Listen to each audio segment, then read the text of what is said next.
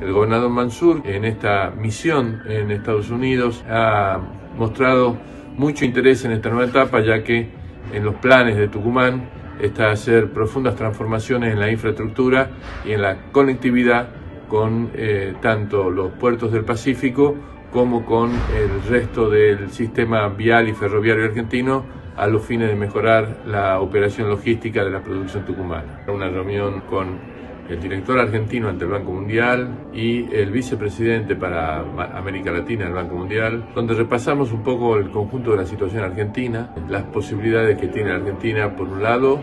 disponibilidades del orden de 3 mil millones de dólares para ejecutar programas que están detenidos en su ejecución por el actual gobierno, y por otro lado eh, se ha conversado sobre asistencias en materia de cooperación técnica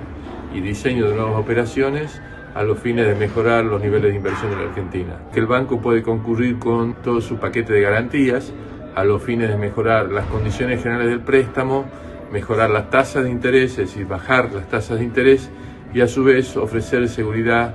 a los inversores, oportunidades que se abren a la Argentina y a Tucumán en esta nueva etapa que va a iniciarse el 10 de diciembre con el mandato del doctor Alberto Fernández.